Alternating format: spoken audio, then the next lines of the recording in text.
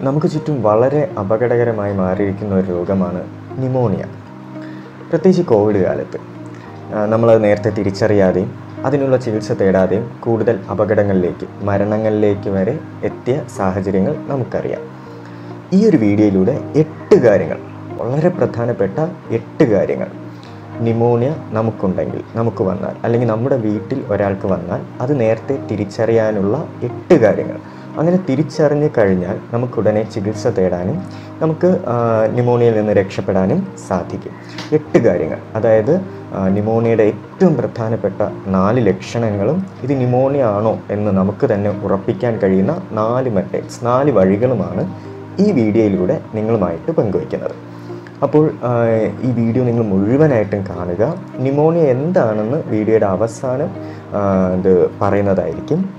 അതുപോലെ ഈ വീഡിയോ നിങ്ങൾക്ക് ഉപകാരപ്രദമായിട്ട് തോന്നുകയാണെങ്കിൽ മറ്റുള്ള എല്ലാവർക്കും നിങ്ങളിത് ഷെയർ ചെയ്യുക. അപ്പോൾ വീഡിയോയിലേക്ക് പോകാം. ന്യൂമോണിയയ്ക്ക് ഒരുപാട് ലക്ഷണങ്ങളുണ്ട്.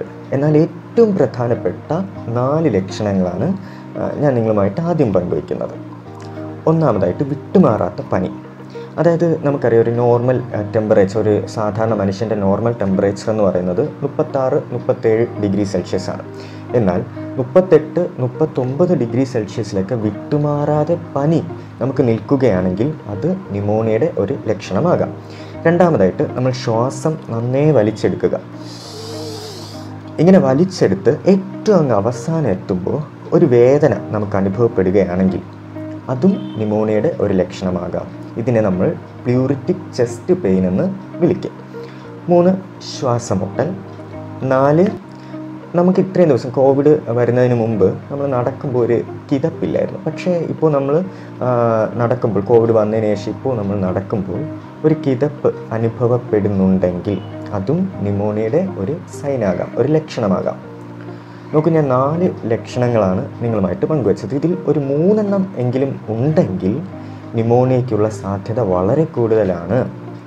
അങ്ങനെയെങ്കിൽ ഇനി ഞാൻ പറയുന്ന നാല് കാര്യങ്ങൾ കൂടെ നിങ്ങൾ പരിശോധിച്ച് നോക്കുക. ഇത് നിങ്ങൾക്ക് തന്നെ ചെയ്യാൻ പറ്റുന്ന കാര്യമാണ്.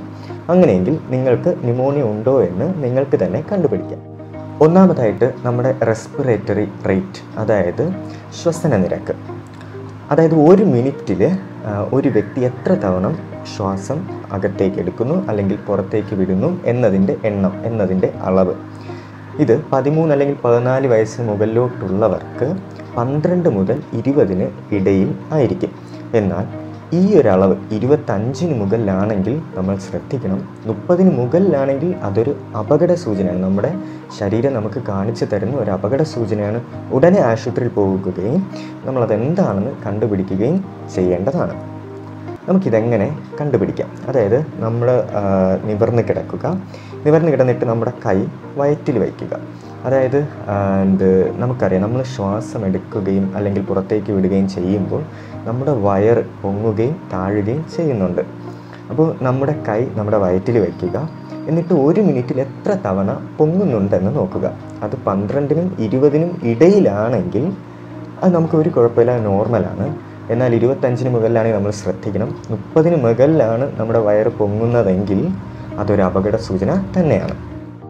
രണ്ടാമതായിട്ട് നമ്മുടെ പൾസ് റേറ്റ് അതായത് ഒരു മിനിറ്റിൽ നമ്മുടെ ഹൃദയമിടിപ്പ് എത്ര. അതറിയാനായിട്ട് നമ്മുടെ പൾസ് നോക്കിയാൽ മതി.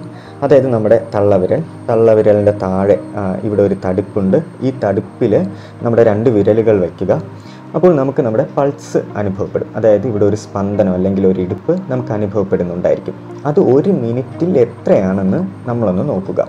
അത് അറുപതിനും നൂറിനും ഇടയിലാണെങ്കിൽ നമുക്കൊരു കുഴപ്പവുമില്ല. അതൊരു സാധാരണക്കാരനായിട്ടുള്ള വ്യക്തിക്ക് അറുപതിനും നൂറിനും ഇടയിൽ ആയിരിക്കും. എന്നാൽ ചിലർക്ക് പനിയൊക്കെ ഉണ്ടെങ്കിൽ അത് നൂറ് മുതൽ നൂറ്റി ഇരുപത് വരെ ആകാം. എന്നാൽ നൂറ്റി ഇരുപതിന് മുകളിൽ ഒരു എന്ത് സ്പന്ദനം അല്ലെങ്കിൽ ഒരു ഇടുപ്പ് നമുക്ക് അനുഭവപ്പെടുന്നുണ്ടെങ്കിൽ അത് നമ്മുടെ ശരീരം കാണിച്ചു തരുന്ന ഒരു അപകട സൂചന തന്നെയാണ്. മൂന്നാമതായിട്ട് നമ്മുടെ ഈ വിരലിന്റെ അറ്റത്ത് നമ്മളൊന്ന് പ്രസ് ചെയ്യുക. പ്രസ് ചെയ്തിട്ട് നമ്മൾ കൈ അങ്ങ് എടുക്കുമ്പോൾ നമുക്കറിയാം ആദ്യം ഒരു വെളുത്ത നിറമായിരിക്കും ഇവിടെ നമ്മൾ കാണുന്നത്. എന്നിട്ട് പെട്ടെന്നത് ചുവന്ന് വരുന്നതും നമുക്ക് കാണാൻ സാധിക്കും. എന്നാൽ ന്യൂമോണിയ ഉള്ള ഒരു വ്യക്തിയിൽ ഈ വെളുത്ത നിറം ചുവപ്പാവാനായിട്ട് ഒരുപാട് സമയം എടുക്കും. അതുപോലെ തന്നെ നമ്മുടെ വിരലിന്റെ അറ്റത്ത് അല്ലെങ്കിൽ കാൽ വിരലിന്റെയൊക്കെ അറ്റത്ത് ഒരു നീല കളർ അനുഭവപ്പെടുന്നുണ്ടെങ്കിൽ അതും ശ്രദ്ധിക്കേണ്ട ഒരു വസ്തുതയാണ്. നാലാമതായിട്ട് ഇന്ന് നമുക്ക് പൾസ് ഓക്സിമീറ്ററുകൾ ലഭ്യമാണ്. ഈ പൾസ് ഓക്സിമീറ്ററുകൾ നമ്മുടെ കയ്യിൽ നമ്മുടെ വിരലിൽ ഒന്ന് ഘടിപ്പിക്കുക. എന്നിട്ട് അതിന്റെ റീഡിംഗ് നമ്മൾ നോക്കുക.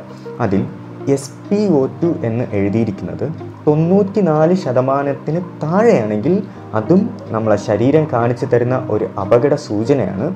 അതിൽ നോർമൽ ഓക്സിജൻ റേറ്റ് എന്ന് പറയുന്നത് നമുക്കിപ്പോൾ തൊണ്ണൂറ്റഞ്ച് മുതൽ നൂറിന് ഇടയിലാണെങ്കിൽ അത് നോർമൽ എന്ന് പറയാം. എന്നാൽ തൊണ്ണൂറ്റി നാല് ശതമാനത്തിന് താഴെയാണെങ്കിൽ അത് ശരീരം കാണിച്ചു തരുന്ന ഒരു അപകട സൂചന തന്നെയാണ്. ഞാൻ ആദ്യം ന്യൂമോണിയയുടെ നാല് ലക്ഷണങ്ങൾ പറഞ്ഞു. ആ നാലിൽ ഒരു മൂന്ന് ലക്ഷണങ്ങളെങ്കിലും ഉണ്ടെങ്കിൽ ഈ പറഞ്ഞ കാര്യങ്ങളിൽ നിങ്ങളൊരു മൂന്നെണ്ണം എങ്കിലും ഒന്ന് ചെക്ക് ചെയ്ത് നോക്കുക. അപ്പോൾ നിങ്ങൾക്ക് സംശയം തോന്നുകയാണെങ്കിൽ ഉടനെ തന്നെ ഒരു ഡോക്ടറിനെ കാണുകയും ന്യൂമോണിയയ്ക്കുള്ള തുടർ ചികിത്സകൾ നേടുകയും ചെയ്യുക. ഇനി എന്താണ് ന്യൂമോണിയ എന്ന് പറയാം. നമുക്കറിയാം. നമുക്ക് രണ്ട് ശ്വാസകോശങ്ങളുണ്ട്. നമ്മൾ ശ്വാസം അകത്തേക്ക് നമ്മൾ വലിച്ചെടുക്കുന്നു. അപ്പോൾ ഇത് നമ്മുടെ ശ്വാസകോശത്തിലെത്തുന്നു. നമ്മുടെ ശ്വാസകോശത്തിൽ വളരെ ചെറിയ വളരെ വലിപ്പം കുറഞ്ഞ ഇഷ്ടം പോലെ വായു അറകളുണ്ട്. അതിനെ നമ്മൾ ആൾവിയോളെ എന്ന് വിളിക്കും.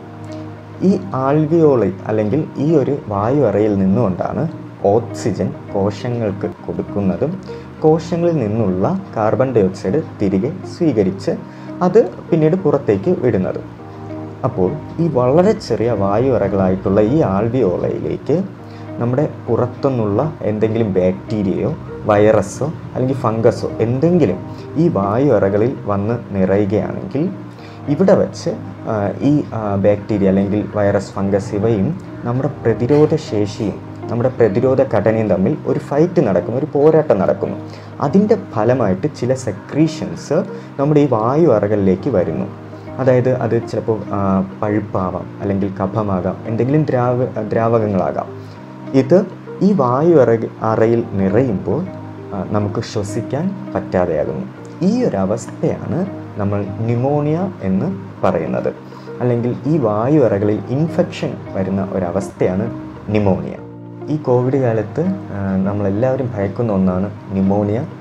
അപ്പോൾ ഞാൻ ഈ പറഞ്ഞ ലക്ഷണങ്ങൾ നിങ്ങൾ കാണുകയാണെങ്കിൽ ഉടൻ തന്നെ ഇത് ന്യൂമോണിയ ആണോ എന്ന് ഉറപ്പിക്കാനായിട്ട് പറഞ്ഞ ആ വഴികളൂടെ ഒന്ന് നോക്കുക ആ മെത്തേഡ്സിലൂടെ ഒന്ന് നോക്കുക. എന്നിട്ട് നിങ്ങൾക്ക് സംശയാസ്പദമായിട്ട് ന്യൂമോണിയ ആണോ എന്നൊരു സംശയം ഉണ്ടെങ്കിൽ ഉടനെ തന്നെ ഡോക്ടറിനെ കാണുകയും തുടർ ചികിത്സകൾ നേടുകയും ചെയ്യുക. അപ്പോൾ ഈ വിവരങ്ങൾ നിങ്ങൾക്ക് പ്രയോജനകരമായി തോന്നുകയാണെങ്കിൽ ഉറപ്പായിട്ട് മറ്റുള്ളവർക്കും ഷെയർ ചെയ്യുക. മറ്റൊരു വീഡിയോയിലൂടെ നമുക്ക് വീണ്ടും കാണാം. Good bye.